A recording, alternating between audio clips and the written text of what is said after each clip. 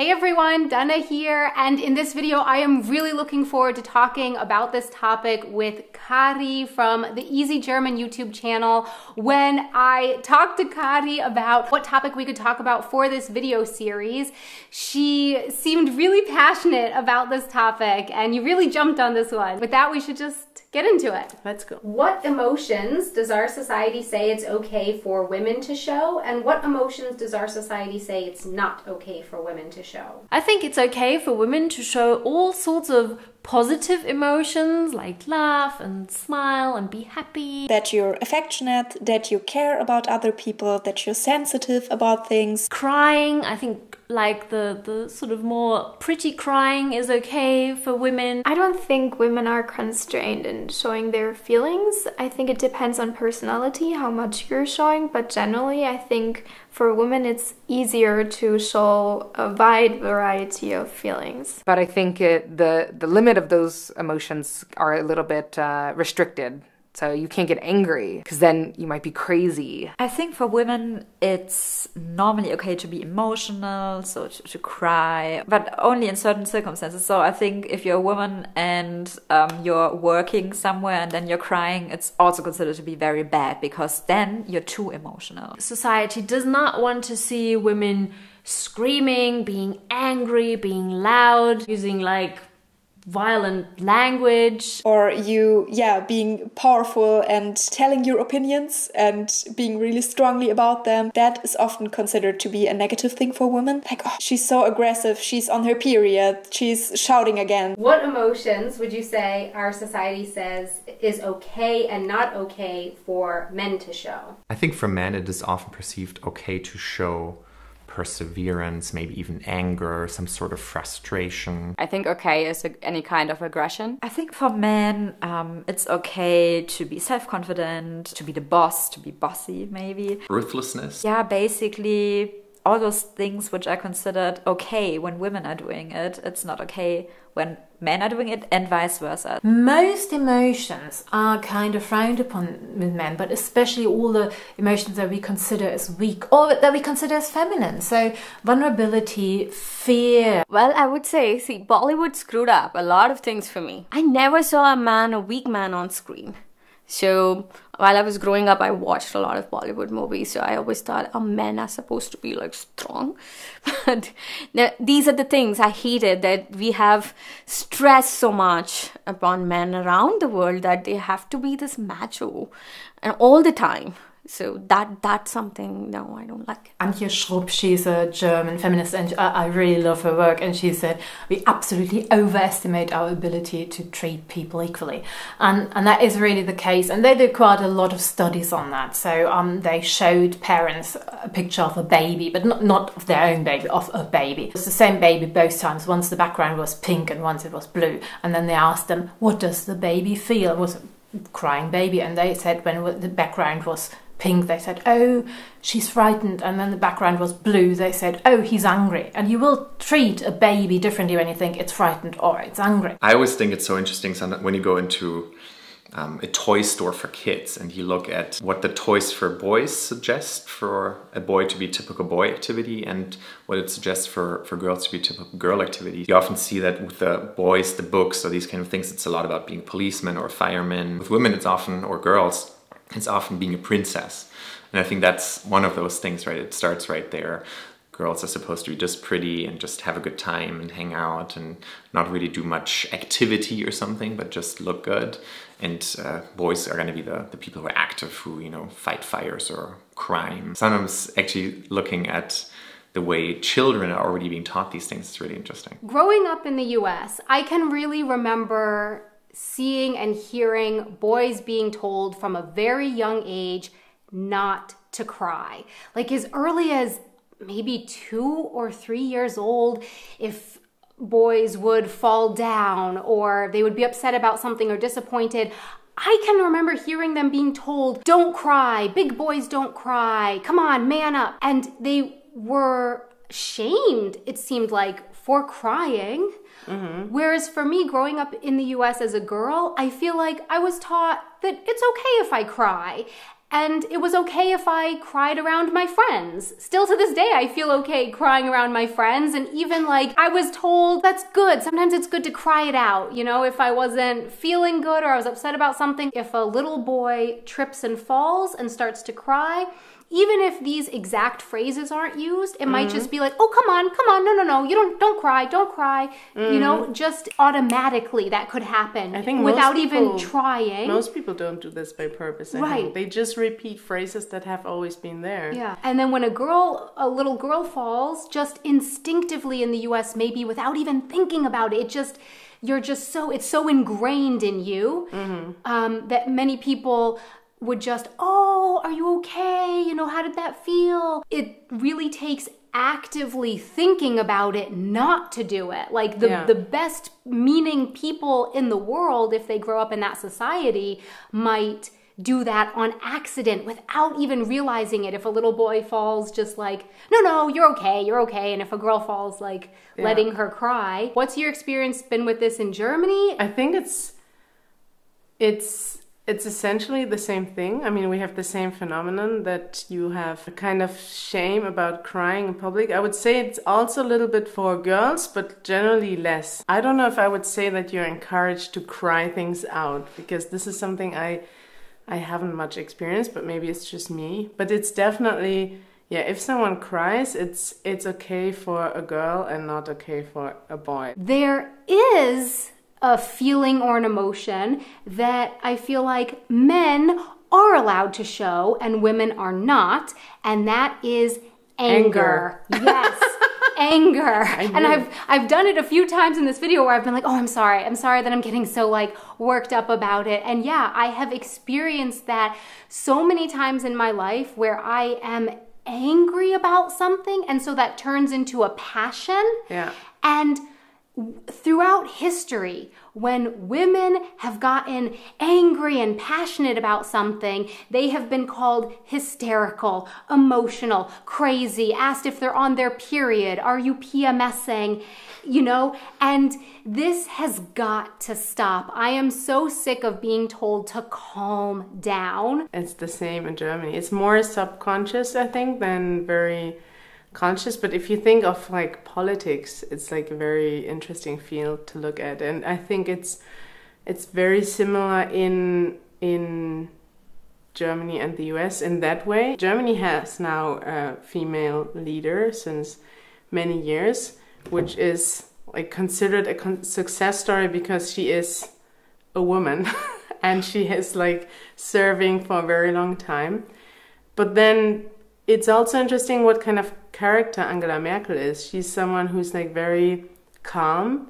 For a long time, she has been really like people didn't like her for the fact that she's not passionate enough. Nowadays, she has more respect. She has respect because she was able like to navigate Germany through a lot of like intense times and also troublesome times with being calm, you know. Have you ever heard someone tell a boy or a man, don't be such a girl, or don't do that thing like a girl? Maybe in German that would be like, sei nicht so ein Mädchen. Yeah, all the time. I mean, it starts on the schoolyard, right, in, in high school or maybe even elementary school. Yeah, all the time. Many a times, right? It suggests that being a woman or being a girl equals being weaker or being less courageous, and that is a big problem. I mean, uh, I was one of the boys, so I also heard it the other way around. If you say in German uh, the expression uh, seinen Mann stehen, uh, as a woman, for example, um, then you are like really tough and uh, you're the, the boss um, in front of others or whatever. So that is something positive. Have you ever had anyone tell you, or have you experienced it with your daughter, don't be such a boy? No, I haven't actually. Um, when you did something that was boyish, they thought, oh, this is good, she's behaving like a boy. Well done, because this is what you should aspire to. So I did learn that girls' things were less valuable. And, and boys' things were the good things, and you should be tough like a boy. I can't remember my mom telling me, You are not a boy, when I was um, playing a lot in the dirt outside. When I tell people that I play roller derby and uh, maybe they watch a YouTube video or something, I have heard things like, oh, isn't this too dangerous? And uh, aren't you scared or aren't you afraid to get hurt? It's just like any full, other full contact sport. You wouldn't say to a rugby player, oh, aren't you afraid you're going to get hurt? Aren't you afraid you're going to get a, get a scar or something? And people don't say it to men you know, uh, to male athletes, you know, only to female athletes. And she dressed me in really pretty dresses because it was Sunday and we wanted to go to visit my grandma or something like that. And I got everything messy. And then she told me, No, you are not the boy. You don't do that. You are supposed to be nice and yeah, quiet. Sit over there reading books and not running around on the playground. Like, there's a lot gender specific speech like this, like wie echte Männer or something like that. And it's it's very interesting because you see that this I think it's changing in the different generations. I mean, Janusz will hate me, hate me for telling this, but one time he told uh, Manuel, his son, he said like, "Wir regeln das wie echte Männer." Like we solve this like real men. Manuel was correcting him and said like, "Dad, that's that's not something we say nowadays. and he was like, Janusz felt offended because, you know, he just used something which was like normal speech for him. And he felt like, why do, you know, why am I corrected for saying something that I'm, I mean, it's not like him who made up the sentence. It's just like he repeated what he has always heard, you know? In school, starting around, I think age like seven or eight, I can remember playing sports in the US where I grew up and hearing, don't do that like a girl. If a boy did something like kicked the ball not very well or was running too slowly, Yeah. then his peers or yeah just other people might say like ah he runs like a girl. Or the coach might say don't play like a girl. Also that girly things um, boys would get made fun of if they played with them. So like dolls or the color pink. For me growing up in that society i really internalized all of this. Mm-hmm. And then I went through a tomboy stage, and that's like I started dressing all in boys' clothes and wore like a baseball cap on backwards, and I really wanted to act like a boy and be tough like, a consciously boy. because you heard that in school. I don't think I don't think I put two and two together and like made this decision, mm-hmm. but I can remember wanting to be taken seriously and wanting to be tough. I liked to ride my bike and rollerblade. I wanted to be taken seriously and I felt like the only way I could do that would be to really dismiss all of my girly things. Even if I had liked some of the girly stuff, I think this devaluing of girly things because if a boy wanted to play with a doll, the reaction was often like to make fun of him. Oh, mm-hmm. why would you want to play with that girl thing as though it were less than? Yeah, I think this devaluing of girl things devalues girls. It's it's definitely the same in Germany, and I've grown up kind of with the same wording even. But it's interesting because I'm I'm not always sure if it's only devaluing. It's more like you have strict gender roles on both sides. Because I actually had the opposite experience when I was young. I more identified with boys and boys things. I've always more wanted to be a boy or actually it was not really consciously you know i just liked everything that boys liked. I liked to play with boys. I liked to to play with sword do more like physical activities do sports. I played uh, soccer which in germany is like a boy sport other than in the us Soccer in the US Yeah, is a girl sport and and people don't respect it, right? In Exactly. the and in Germany, people wouldn't respect women's soccer, even though like the uh, German women's soccer team is pretty successful. I mean, this is a sports thing in general that most sports are dominated by men, and people like look up to the men as like the top athletes, and then women are just always below that. the fact that soccer is big here and you know not in the US because it's a a girl sport in the US made me think about the fact that and please let me know your experience and thoughts with this down in the comments but I feel like as an American I can remember hearing in the US people referring to European men in general as like girly because they like soccer and they're a little bit more Yeah. maybe open with their emotions, maybe a mm-hmm. little bit, maybe. So like that they're girly or less manly than manly American men Yeah. that that you know play American football and don't show their emotions and don't cross their legs. You know, European men sometimes cross their legs like um in a girly way. But it's almost like a compliment to, I mean, in that sense of there's maybe less clear roles in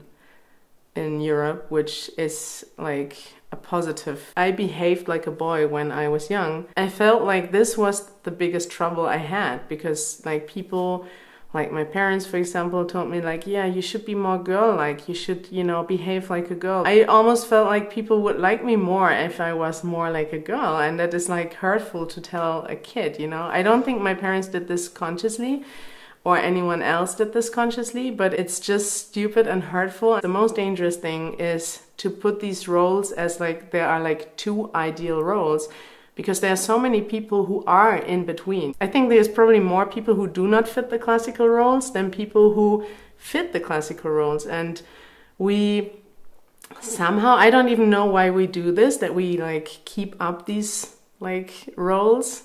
So, our, question, for you is if you are from the US or Germany, do you also have you experienced it the way Cari and I described it? What are your thoughts on it? And if you're from any other country around the world, what have your experiences been like there? How does it work there? So basically, wherever you're from, what are your thoughts and what have your experiences with this been like? Please let us know in the comments below. A big thank you, thank you, thank you to Cari for joining me in this video. Thank you so much for sharing your thoughts on this topic. It was a pleasure. Thanks for having me. Yeah, you're welcome. It was really wonderful talking to you. The more that I talk to different people, just the more I want to talk about more topics and more mm-hmm. things and talk to more people. Until next time, Auf Wiedersehen!